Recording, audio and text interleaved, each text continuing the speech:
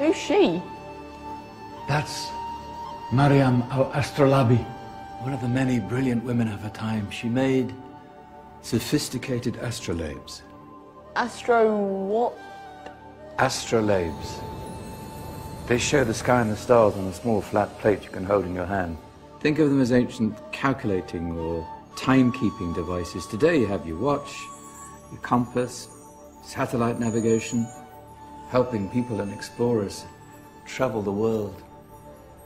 Science at its brilliant best. And all these things were developed during the Golden Ages. That's just the tip of the iceberg. There were thousands of other inventions covering all areas of life, and in the years that followed, their influence spread across the whole of medieval Europe. So you see, it wasn't so dark after all.